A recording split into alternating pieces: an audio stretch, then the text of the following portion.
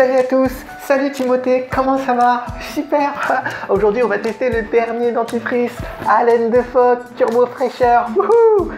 On est super content. Ah bah hey, faut pas faire les gars hein En plus t'as plus Bon alors on va y aller. Euh, qui me l'a demandé depuis longtemps Ah bah vas-y c'est le moment. Allez, mets-y un peu d'entrain. Oh, c'est dommage. Mais si vous ne voulez pas que votre vidéo subisse le même sort, je vous conseille de regarder 911 Avocat. Dans cet épisode, on va parler des enfants sur YouTube. On va pas pouvoir parler de tout, donc on va se focaliser sur les chaînes qui leur sont vraiment consacrées et qui sont gérées par les parents ou par les proches de A à Z. C'est vrai que ces chaînes interpellent et suscitent pas mal de questionnements. On va donc essayer d'y répondre dans cette vidéo. Prenons par exemple un commentaire sous une vidéo du studio Bubble Tea, chaîne d'unboxing et de vlog consacrée à deux petites filles de 4 et 8 ans. J'aime beaucoup cette chaîne, mais est-ce légal? Il y a des gens qui font peur sur YouTube. Si tu aimes boire des petites filles déballer des jouets. Oui, c'est légal, on voit bien des petits acteurs à la télé, alors pourquoi pas sur YouTube? Merci, ta question est bizarre, mais oui, bien sûr, sinon YouTube ne permettrait pas toutes les chaînes de ce genre.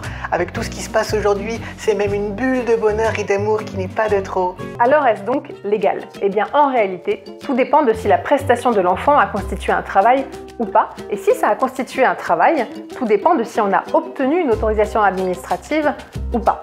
La question était donc pas bizarre. Avant d'entrer dans le vif du sujet, j'ai besoin de revenir sur les spécificités d'Internet. Chacun peut devenir producteur ou diffuseur, alors c'est génial, mais le revers de la médaille, c'est que les moyens techniques, humains et financiers ne sont évidemment pas ceux des médias traditionnels. C'est un peu la difficulté de l'économie de ces vidéos. Elles sont souvent débutées avec un petit budget, sans savoir si elles auront ou non un avenir. Or, le législateur, c'est-à-dire ceux qui font les lois, n'a pas spécifiquement encadré ces nouvelles pratiques. Il en résulte une zone de flou où on se dit qu'on peut plus ou moins faire ce qu'on veut. Alors qu'en fait, non, il y a quand même des règles applicables, à savoir tout simplement le droit commun, le droit général. C'est pas parce qu'on est sur internet que par exemple le droit du travail ne peut pas s'appliquer. En résumé, il faut pas croire que cette zone de flou permet de faire tout et n'importe quoi. Explication. Sur Internet encore plus qu'ailleurs, la frontière commerciale, non commerciale, amateur, professionnel n'est pas facile à situer. D'autant que souvent il y a du bénévolat pour des exploitations qui pourraient être considérées comme lucratives. Du coup, la question c'est de savoir où se situe cette frontière.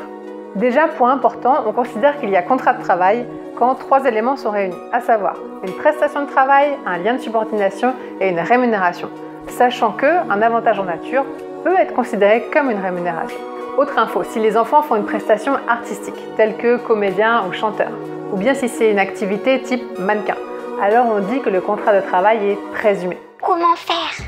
Le principe à retenir, c'est qu'un enfant ne peut pas travailler s'il a moins de 16 ans. Néanmoins, vous avez quand même des exceptions. C'est notamment le cas pour le domaine de la vidéo et de l'audio. Dans ce cas-là, vous avez besoin d'une autorisation administrative pour que l'enfant puisse travailler. Elle est délivrée après avis de la commission des enfants du spectacle. Un enfant de moins de 16 ans ne peut, sans autorisation individuelle préalable accordée par l'autorité administrative, être, à quelque titre que ce soit, engagé ou produit dans une entreprise de cinéma, de radiophonie, de télévision ou d'enregistrement sonore. Mais où est Internet?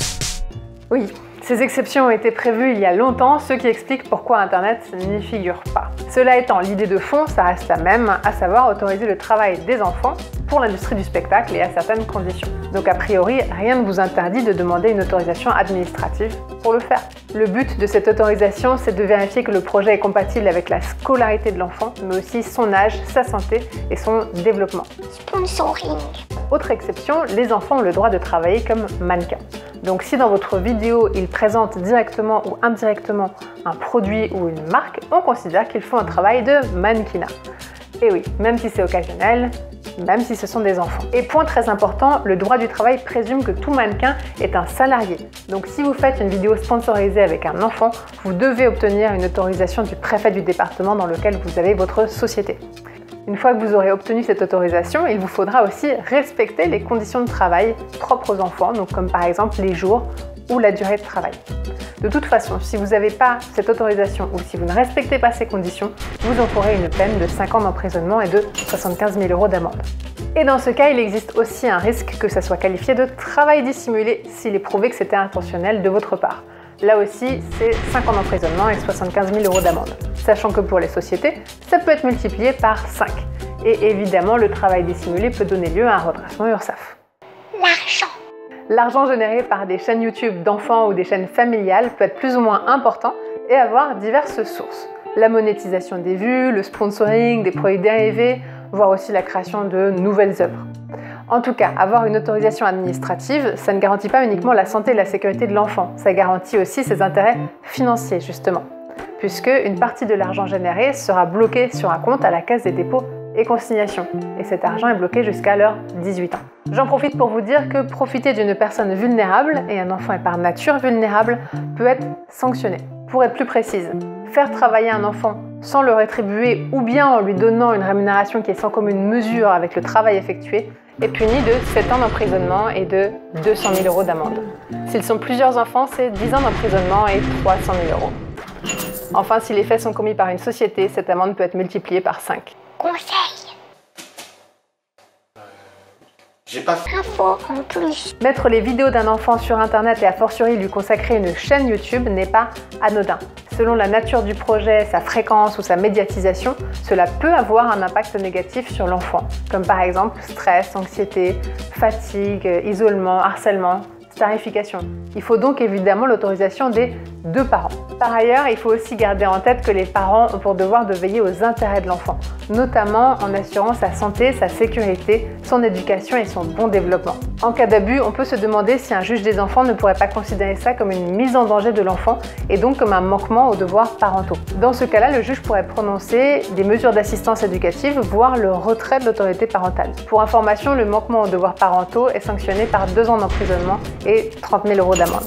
Pour conclure cet épisode, je le redis, tout n'a pas pu être traité dans cette vidéo tout simplement parce qu'il y a trop de choses à dire et trop de cas de figure différents. En tout cas, si les références juridiques vous intéressent, elles sont juste ici, dans la description de la vidéo. Abonne-toi à la chaîne parce que papa il veut qu'on fasse plein de vues. Et si tu cliques sur les autres vidéos, ça en fera trois fois plus.